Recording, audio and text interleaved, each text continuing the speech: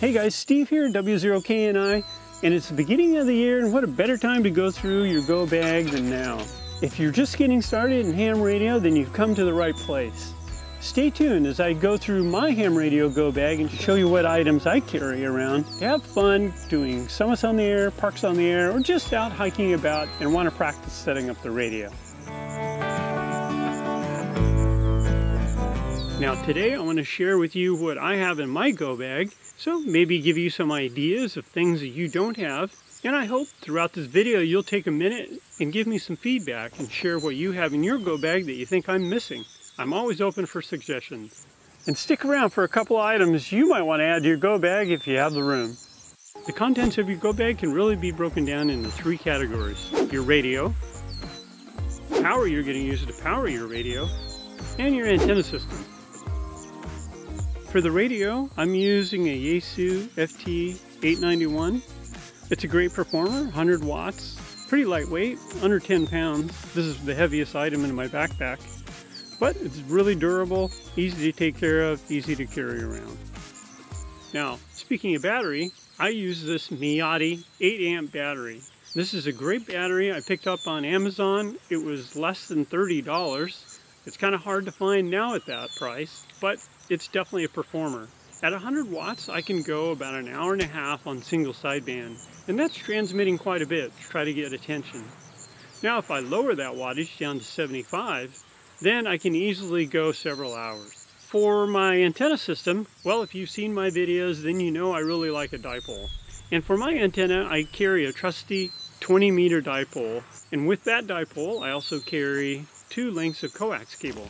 I'm using a 40 foot and a 25 foot coax of RG8X. This is a pretty good performer. It's flexible, not stiff.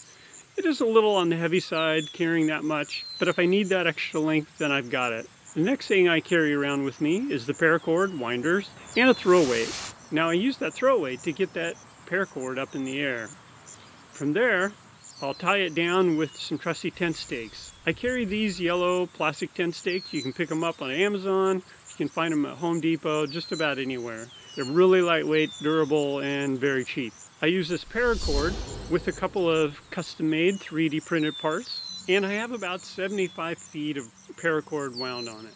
And to get the paracord up in the air, I use a 12 ounce arbor weight from Weaver. I also, as optional items, I carry a pair of gloves. Now these gloves are really handy when it comes to throwing that paracord up in the trees. That cord slips through your fingers, often because of the friction, because of the texture, it can burn your fingers. So a pair of gloves is, is really nice to have.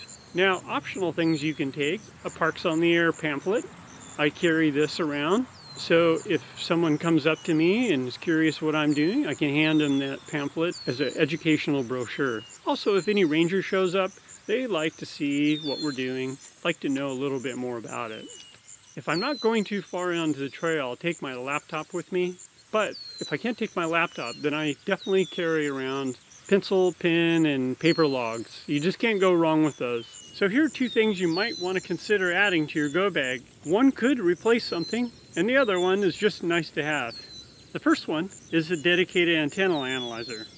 In my case, I have the RigExpert A55 Zoom. This is a great antennalizer to carry around. It's really lightweight, really durable, weatherproof, and really gets the job done. Now I realize you could use your SWR meter on your radio, but you can't get more accurate than this. The next item I would suggest is a dedicated standalone antenna. The Buddipole has been an awesome antenna and you don't have to worry about finding trees to anchor your dipole or your end-fed half wave up in the air.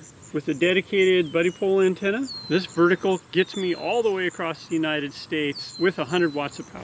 Hey guys, I hope you've enjoyed this video. I had a great time sharing what I have in my go bag. And if you have time, don't forget to comment below. Let me know what you got in yours. I'd love to hear about something that you have that'd be really cool that I could add to mine. So till next time, W0KNI clear.